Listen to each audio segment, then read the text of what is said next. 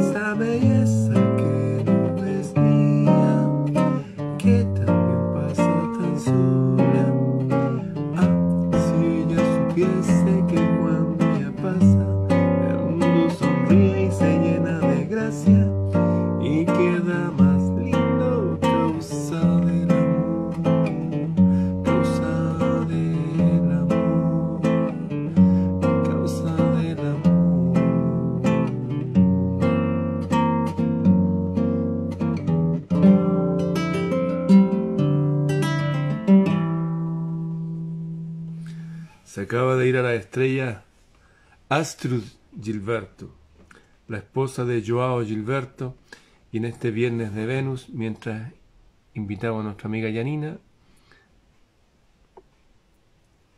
a ver, estará por ahí Yanina. A la cuenta de tres debería aparecer uno, dos y efectivamente. Hola Yanina, ¿me escucha? Sí, perfecto. Ya paró la tormenta por acá. Ya, Ayer estuvimos con una tremenda tormenta, la bienvenida al invierno verdadero, como dices tú. sí. Y, y- y hoy día salió el sol. Qué bien, qué lindo. Acá está nublado, ha estado lloviendo de a poco. Tú sabes que estas cosas que tiran en el aire, que es troncio, eh, bromo, aluminio, no deja que las nubes se unan, entonces es muy difícil que llueva. Pero fíjate que los que el tehue, estos pájaros que anuncian la lluvia, no fallan. Y esto lo digo de verdad. Ayer escuché un ejército de que el tehue, a pesar de que está con sol, dije, wow, va a llover. Llovió. La naturaleza nunca se equivoca. Así es. Los seres humanos, cuando nos tomamos por, digamos, por, por nuestra cuenta el tomar decisiones a veces, eh, erramos, pero la naturaleza es sabia. Sí, hay que fluir con la naturaleza, no hay que luchar contra el río. Oye, cuéntanos, ¿cómo ha estado eh, tus grupos de canto? Sé que se han unido más personas y están cantando. Fíjate que me acordé mucho de ti y el grupo de tus mujeres que cantan, porque estuve leyendo un relato de Olaf Jansen, eh, un hombre que nació en 1811 y por ahí por el 1830 y tanto, hizo un viaje con su padre al norte del mundo y encontraron islas con marfiles, pero no de foca, que son pequeñitos, sino de mamut. Ganaron mucho dinero y se fueron más al norte, descubrieron que hay islas que están completamente hechas en, en agrupaciones de troncos, que se han ido juntando y se va creando, no sé, por tierra, y, pero son troncos gigantes que vienen de más al norte, que es de donde vienen los icebergs. Y los icebergs son de agua dulce, no son de agua salada, no es de que la- Y habla de un mundo maravilloso, y lo primero que le llamó la atención es que en ese mundo que está más allá del hielo, se encontraron con unas personas que cantaban, todas juntas. Iban cantando en un barco, todos cantando, y desde ahí el relato es tan armonioso. Y como tú has dicho tantas veces, el canto, sobre todo el canto con más personas, eh, provoca no solamente estas cosas de la oxitocina que nos da confianza, sino que parece que nos pone en armonía con la naturaleza. Y el, el canto es algo inherente al ser humano. Es algo inherente porque la propia lengua, los idiomas que hablamos, partieron de un proto-canto, podríamos decirlo así. Y la palabra ya, yo sé que... Sería protocanto, suena como algo medio... Bueno, algo primitivo, como el antepasado de lo que uno actualmente ah. eh, llama cantar. Proto sería como primero. Claro, sería como, como una forma eh, melodiosa de expresarse a través de la voz que no es como lo que actualmente se llama canto eh, comercialmente, no es como una canción que suena en la radio, que está en, las plataformas digitales, no. Er, los cantos de los antiguos eran una forma de comunicarse. Y lo, mencioné en el viernes de Venus de la semana pasada también, que eh, los antiguos idiomas, la mayoría eh, lenguas muertas ya como como el sánscrito antiguo o el arameo o, el árabe, pero el árabe antiguo, real, del tiempo en el que se, escribió el Corán, o el hebreo, que te voy a contar un, dato curioso que no toda la gente sabe del hebreo, el hebreo que se hablaba en, el tiempo de Jesús y antes de eso, no hay ninguna prueba de que haya sido realmente parecido al hebreo que se habla hoy en día. ¿Por qué? Porque el hebreo fue una lengua muerta que en el tiempo posterior a la Segunda Guerra Mundial se quiso resucitar, pero nadie sabe cómo era la entonación real que ocupaba la gente que hablaba naturalmente el hebreo. Y eso se debe a que el hebreo, al igual que otro idioma, no, trae vocales. No se puede saber. Sí, si no, si no sabes las claves, no puedes leerla. Porque las vocales eran justamente para todas las lenguas semíticas esa parte cantada, esa parte que del, del idioma que se va narrando con la intencionalidad del momento en que se habla y que se canta. A ver esto.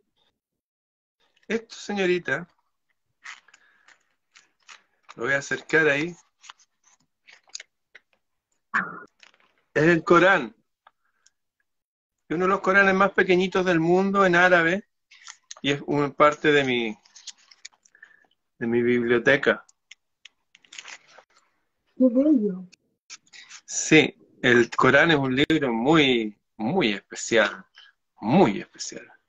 Ahí también se menciona de, del canto y de la voz humana, de cómo cuando el ser humano está alineado consigo mismo y el cielo, su voz influye y ordena de dar órdenes al mundo animal y también al mundo, eh, ¿cómo decirlo?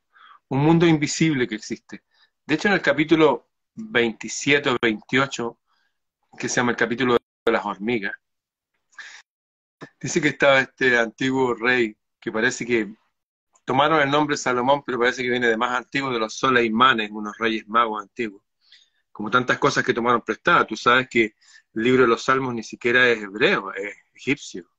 En fin, eso lo aprendí con Sila y Mora y yo lo aprendí en el seminario. O sea, Habla ahí de que tenía tal poder en la voz este rey que cantaba y que tenía coros y hablaba, que tenía, aparte de su ejército de hombres, tenía un ejército de pájaros, de aves, que lo mantenían informado de lo que sucedía en el planeta. Y tenía además un ejército de ginas o espíritus, y todos ellos los controlaba a través de su canto, de su voz. Es interesante ahí porque dice que estaba pasando revistas, está en el capítulo 27 de este librito. Estaba pasando revistas a sus tropas, estaban todos formados y faltaba un pájaro. Y dijo, ¿dónde está la bubilla? No la veo aquí. Y dice que llegó volando con presteza y dice, disculpa, le pide disculpa, no pude llegar antes, le dice, es que te tengo una noticia, pero increíble. ¿Qué noticia me tienes? Resulta que hay un reino más allá, más hacia el sur y el oriente, que lo dirige una mujer. ¿Eh? ¿Cómo? Sí, es una mujer que dirige. Oh, qué, extraño, dijo. ¿Y qué reino es ese? Es el reino de los sabeos. Y me gustaría conocer esa reina. Y uno de los Gina, de los espíritus, le dijo, yo te la puedo traer. Y se acerca un Secret, que es un espíritu con mucha sabiduría, le dice, no, yo te lo voy a traer hasta con el trono inmediatamente. Y dice que envuelta en una nube como de, vapor, de humo blanco, apareció un trono y en ella sentada una reina vestida con ropas reales y piedras y adornos y todo. Y ella queda como un poco impresionada, pero digna. Y el rey Soleiman le dice, ¿sabes dónde está? Y él se quedó callado y dijo, sí sé, tú eres el rey mago, ¿cierto? Sí, le dice, ven.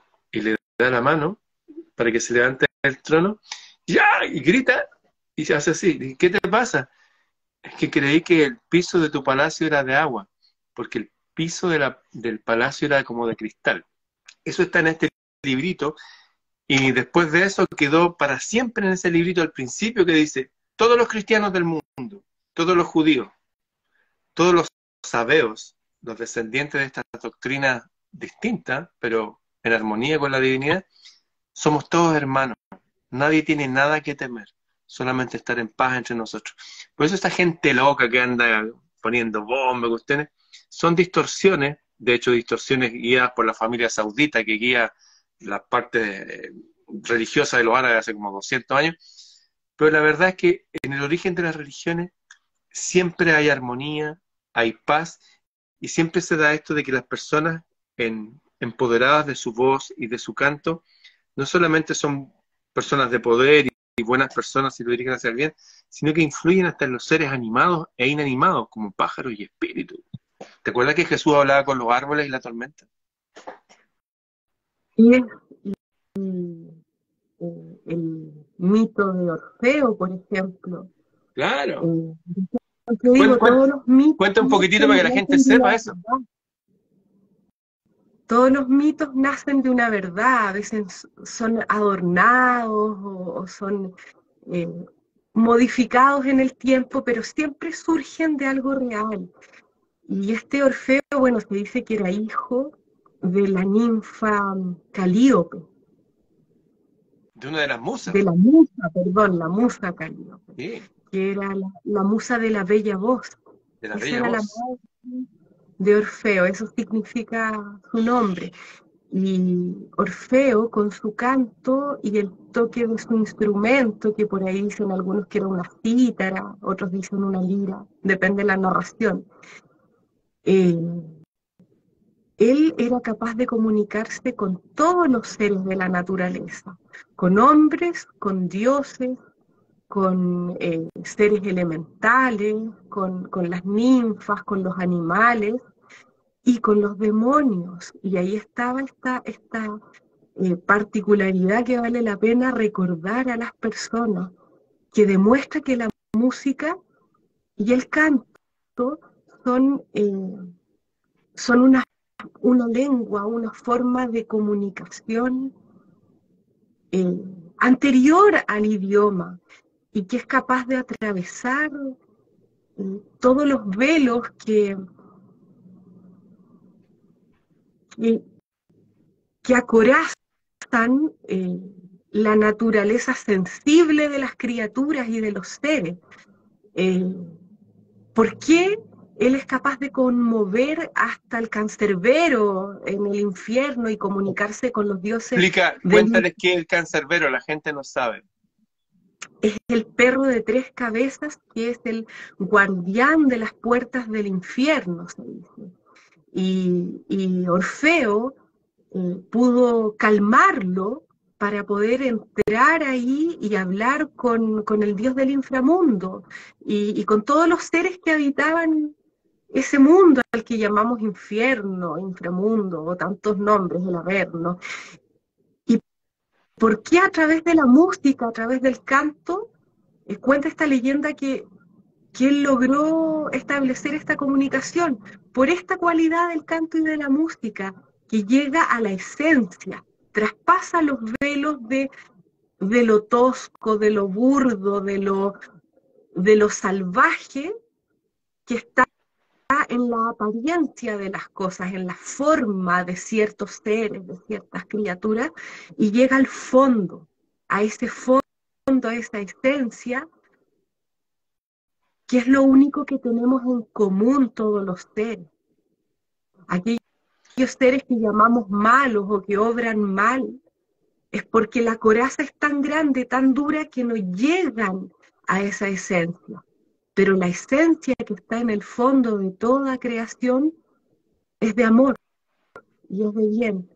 Y el canto y la música es capaz de llegar a ese lugar, al fondo, detrás de las corazas, detrás de los velos. Mira, detrás mío, aquí tengo un incensario, ¿lo ves? Esto es un incensario en todos los templos siempre había incienso y había canto. Como tú decías ahora, este Orfeo, buscando a esa mujer Eurídice, fue al infierno tocando su, con su salterio, con su... Y dice que tocaba y tocaba y nadie se atrevía a hacerle daño. Incluso algunos demonios lloraban y pudo llegar al infierno. Bueno, en todos los templos antiguos y los templos modernos siempre vamos a ver que hay las romerías, quemar romero, el incienso blanco, siempre hay humo, porque donde hay humo no hay bacterias. Por eso esas piernas de jamón ahumado, serrano, que pueden estar años, no se le acercan ni las moscas y uno va sacando y se lo va comiendo. Donde hay humo no hay bacterias. De hecho, se usaba en la segunda, en la primera guerra mundial, especialmente en los hospitales de, campaña, que eran carpas, se quemaba resina de árbol. Hacían una humadera para que mataran todas las bacterias y donde hay canto, canto armonioso, ¿no? Estas cuestiones que nos ponen, tampoco hay posibilidad de, de mal. De hecho, hay una historia muy linda que dice que el rey David estaba con, o sea, Saúl estaba con el que iba a ser rey David el futuro, y estaba enfermo. Y estaba mal, y le dijeron, ¿sabes qué? Consíguete una persona que, que, que toque nomás que haga música. Empezó este hombre a tocar y dice que el demonio que atormentaba al rey y le producía la enfermedad se iba y quedaba en paz. De hecho, yo tuve una experiencia súper potente el año 2000 en el lago Zurich, en la casa de mi amiga Bianca Puliguedu, que es doctora. Había una fiesta con un millón de personas, que se llama Street Parade, una fiesta de estas techno, boya, qué sé yo. Yo coincidió que llegué en esa época. Se acabó la fiesta, pero se quedó la gente en el lago. Yo tomé la guitarra y me fui a tocar puros acordes así de novena, cosas que estaba componiendo. Puras cosas así. Harto rato. Y de repente se para un monje grande y me da una moneda de cinco francos. Donde sale un Highlander, sale así con un hombre de las montañas, y me lo regala. Y dice, no, si esto yo no lo hago por dinero, le dije, no, me dijo, yo tengo que dar porque tú tocaste tu música y el dolor de cabeza que tenía hace un mes se fue. O sea, la música de verdad, de verdad que produce cosas. Y desde la antigüedad más remota. Bueno, te conté el, eso de lo que le pasó a, Johann Sebastian Bach y que tenía un, ayudante ahí que se llama Goldberg.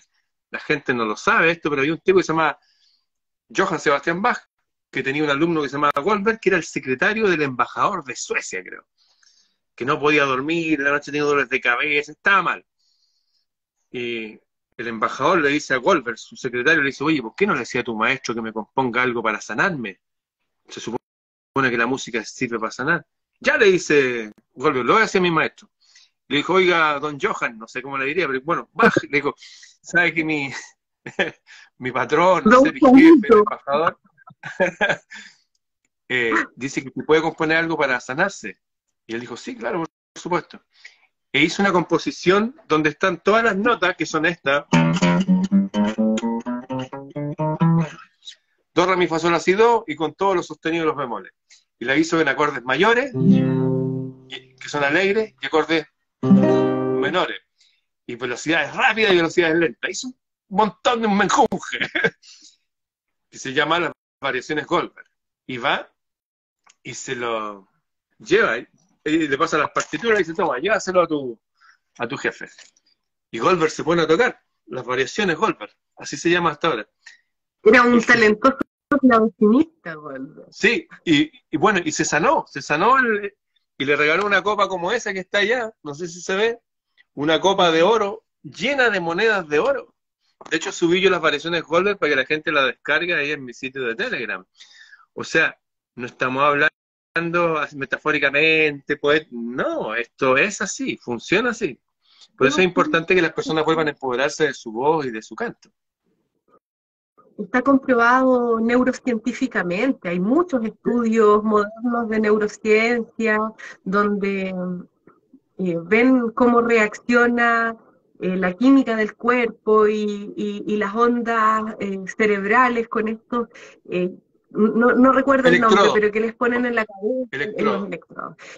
Y, y se mide y es medible los cambios que provoca a nivel anímico. Bueno, yo en mi tesis, por ejemplo, que eh, trata de este mismo tema, eh, puse varias, eh, varios casos de, de diferentes experimentos que se han hecho en el mundo donde se comprueba que el, el canto y como tú dices, el canto grupal también tiene mucho de eso, la, catarsis que se genera cuando cantan las personas en, conjunto, cuando se unen en torno a un canto. Eh, y eso, ojo, eso ocurre incluso online.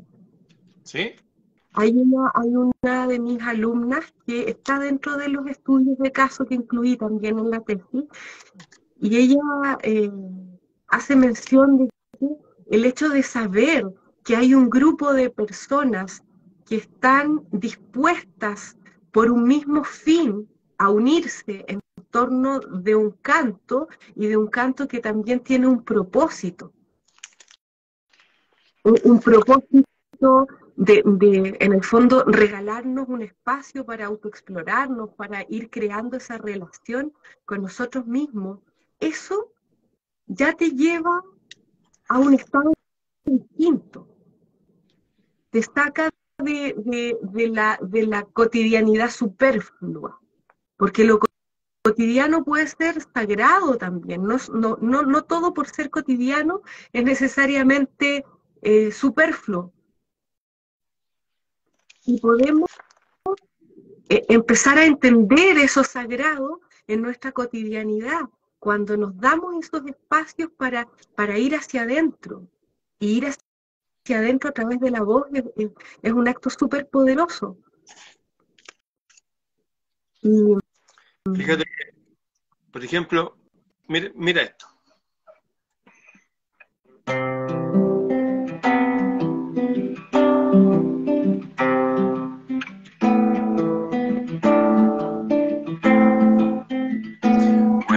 Close my eyes. Only for the moment and the moment's gone. All my dreams. But before my eyes the curiosity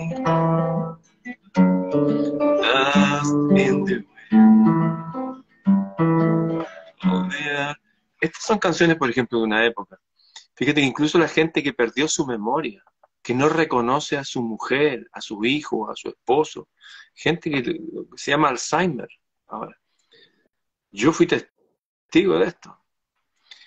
Solamente al recrear su cuarto, su lugar donde duerme, con cosas de su época, si tenía un tocadisco, una revista de tal época, música que escuchaban, la gente recupera su memoria. Mucha gente que se va de este mundo desde su mente es porque no está aguantando el mundo, lo llevan a vivir en unas piezas ahí al fondo, en una casa o junto con otros viejos, decrépitos. Y no, si lo van a cuidar también, si están las enfermeras acá. Yo me acuerdo que una vez llegué a un, hogar de eso, a ver un viejito, y unas abuelitas me dijeron que lloraba una. ¿Por qué? Porque ese tipo la trataba mal. Un tipo con una cara de mal gestado. Lo siento, yo soy así. Lo vi inmediatamente, vi sus facciones, su vibra, mal gestado. Que los trataba mal cuando la gente se iba. Y se notaba un huevón déspota, pero de una calaña peor que como un delincuente que se consiguió. Y yo me acuerdo que fui, le dije, mira, retutututata. Le mostré una cicatriz que tengo ahí. ¿Sabéis quién soy yo? Te voy a venir a buscar y te voy. Lo asusté, me fue a acusar. Después hablé con los abuelitos, hablé con la gente, hablamos de música, de otras épocas, y bastaba eso para, wow. Y eso era todo. Cuando murió mi madre, o sea, cuando murió mi padre, y mi madre después descubrió que había un músico que se pareció mucho a él en su vibra, en su aspecto físico también, Andrés Riu. Empecé a regalar todos los DVD de Andrés Riu. Lo llevé a conocer a Andrés Riu en persona. Lo llevé a cenar con Andrés Riu. La entrada más cara que pagó en mi vida. No importa, lo llevé a la vieja, estaba feliz. Con 80 años estaba como una niña ahí, con unos globos. De... ¿Sabéis la fuerza que agarró? Hasta los 88 años está impecable, su mente sana y todo eso y todas sus penas que vivió, que fueron muchas, su hija atropellada, su esposo atropellado, sus padres muertos de una forma muy pen, muy desagradable en un hospital, y ahí estaba parada, firme. El poder de la música. La música de verdad que es un poder. Bueno, yo te voy a contar un caso cercano, relativamente cercano, eh, de, de una persona con Alzheimer que mm, estuvo con su hijo, así como tu mamá contigo, hasta los últimos momentos. Eh, en el caso de, mi último profesor de canto, con su madre, él vivió con su madre al igual que tú toda la vida, la cuidó, se hizo cargo de ella eh, hasta el último momento. Y esta señora, con Alzheimer, de años, Tú sabes que hay personas que con el Alzheimer se deterioran muy rápidamente y, como que se van del mundo.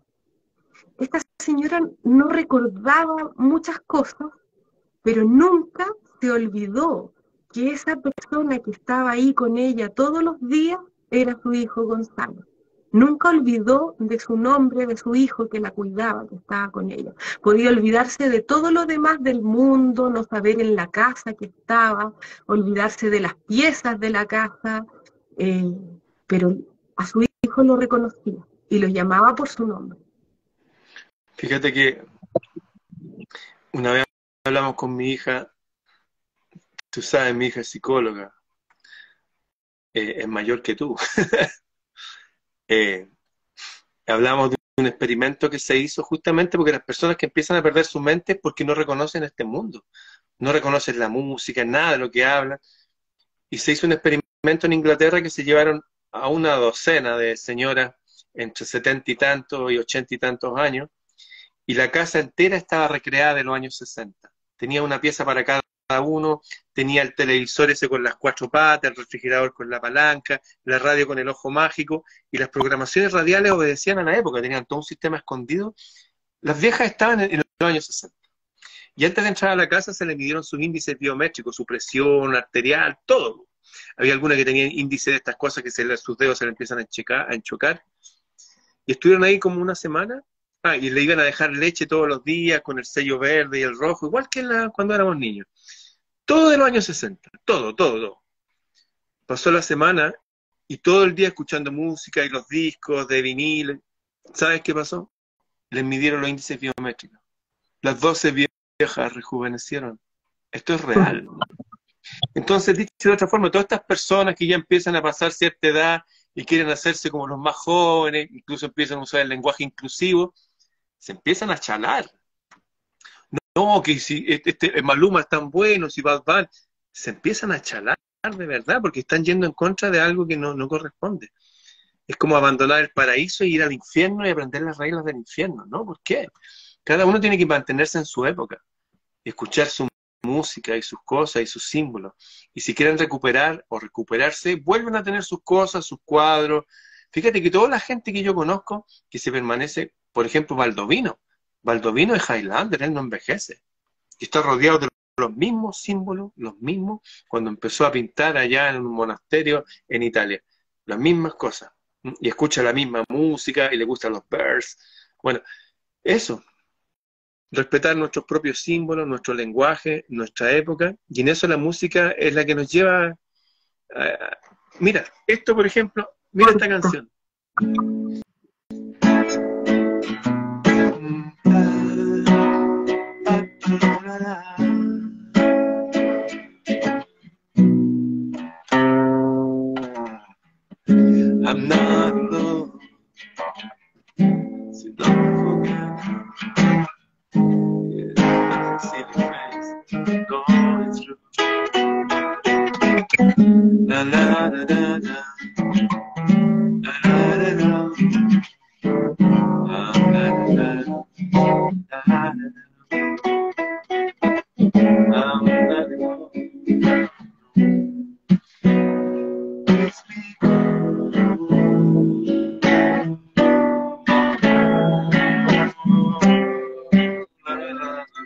Yo no tenía idea de lo que decía la letra, pero yo escuchaba esto cuando era niño, es como, wow, así como,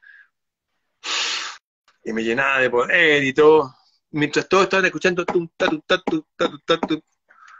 yo había escuchado la música y me llenaba de un sentido de identidad. Eso.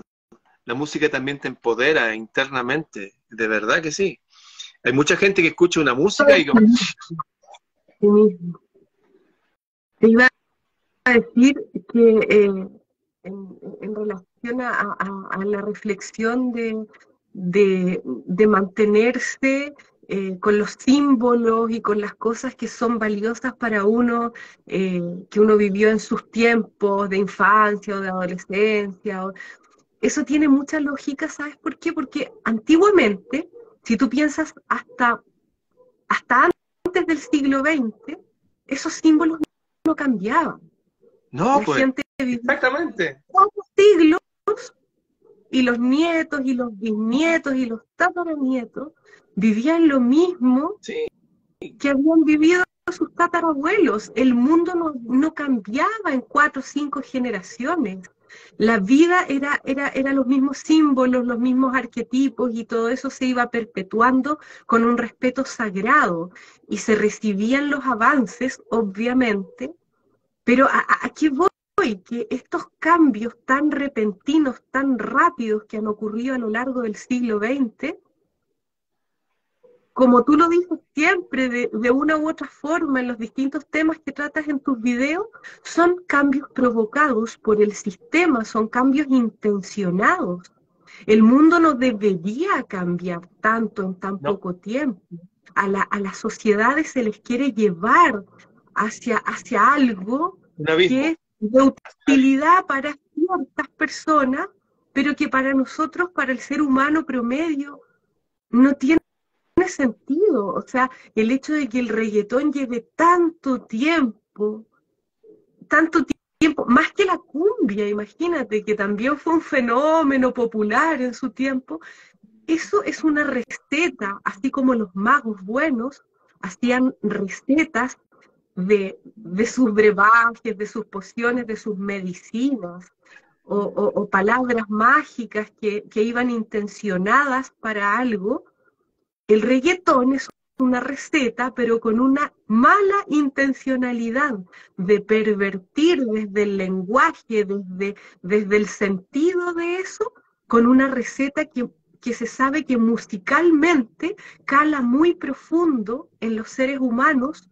porque esos ritmos conectan con los ritmos primarios más básicos de nosotros, con los latidos cardíacos, pero eso lo mezcla con cosas que se nos van grabando a nivel inconsciente y que van degenerando en los más jóvenes la percepción de ciertas cosas, como por ejemplo la belleza, de la verdad. La belleza, el, el respeto a la mujer, entre los pares, música, eh, música latina, había un, hay música latina que es maravillosa, bueno, el bossa nova que al principio, eh, ¿Conoce esto?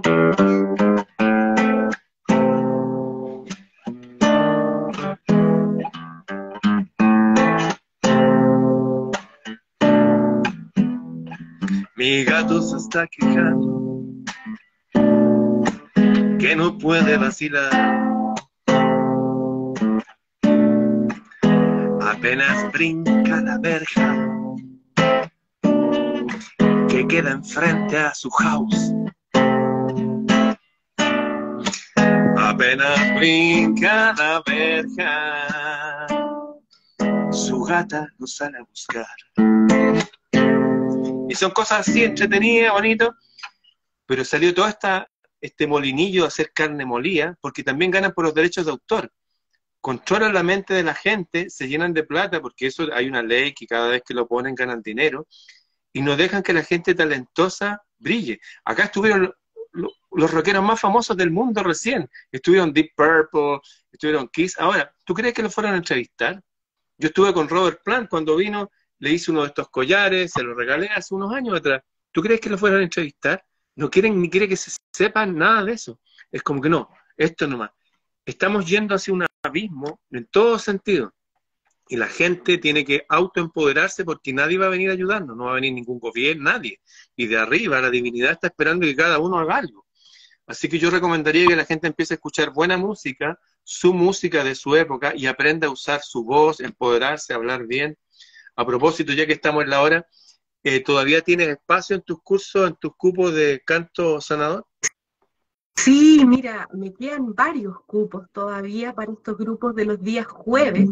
Un grupo en la mañana y el otro en la tarde, eh, porque se me retrasó un poco los ritmos que tenía programados por el tema del, robo de mi teléfono.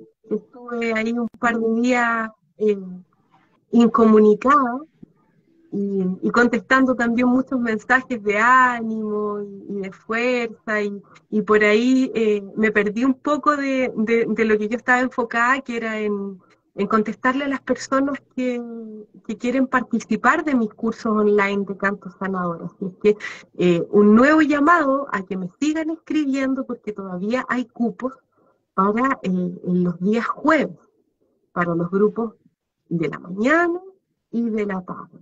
Jueves de Júpiter. Aprendamos a a través de nuestra voz. Y ojo, no se trata de ser virtuosos, se trata de aprender a hacer magia con la voz, como los antiguos, aprender a intencionar a través de nuestra voz, a través de un canto que a veces es súper simple, cantos en, en registros cortos, que los puede cantar cualquier persona. Nos han hecho pensar que porque no somos algunos grandes músicos o, nos cuesta un poquitito más afinar correctamente, como que no tuviéramos el derecho de cantar, como que tuviéramos que guardarnos eso. Y entre más lo guardamos, más se va perdiendo la habilidad. Todo lo que no se practica se atrofia. Así es que volvamos a cantar, volvamos a reunirnos en torno al canto. Mira, por favor, nuestra conversación, porque debemos volver a conversar, juntando a conversar. Mira lo que hizo nuestra conversación y nuestra música con uno de los seres más alterados que vive en mi reino. Mira. Ay, pero está ahí. Rubilar vino y se quedó Z ahí, quedó absolutamente groggy. Ya, los que quieran participar de los cursos de Yanina tienen que escribirle a Gianina con G, Gianina musical arroba gmail.com, Gianina musical. Yo tengo unos pequeños grupos de personas que estamos estudiando varias conferencias. Los que quieran unirse me pueden escribir a freireramon arroba gmail.com. Gianina musical gmail.com. Eso, ah, y vamos a estar haciendo nuestro show, vamos a estar en un monasterio jesuita en Valparaíso, lo invitaron también de la Municipalidad de Providencia, y eso, los que quieran eventos y show en sus lugares, y que tengan contactos para hacerlo, obviamente, eh, escríbanle a Yanina, gianinamusical.com. Bien. Oye, mira, hay un gato ahí atrás también, durmiendo mientras nosotros hacemos nuestro programa. Se quedan dormidos, algo pasa. Y, es bueno para los niños que, sí, es bueno para los niños que vean conversar a los adultos. Eso. Ella duerme, escucha del inconsciente. Oye, quiero irme con uno de los cantos medicina. Ya, me parece de los que buena idea. En, en, en, mi curso. Y es que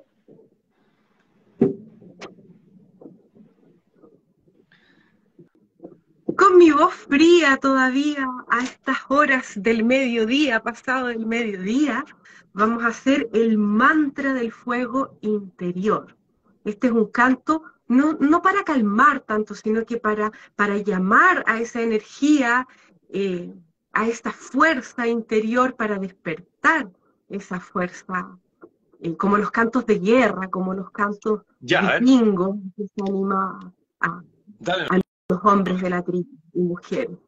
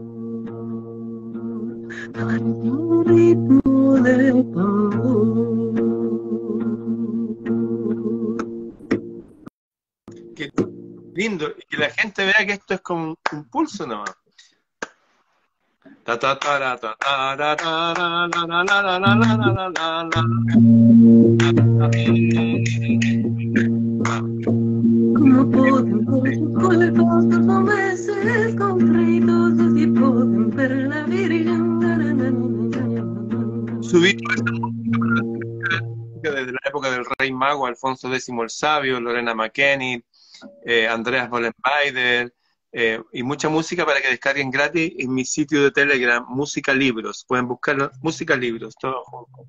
Bien, será hasta el próximo viernes y las personas que necesiten inspiración eh, vayan al curso de Gianina, Gianina Musical, arriba, arroba gmail.com.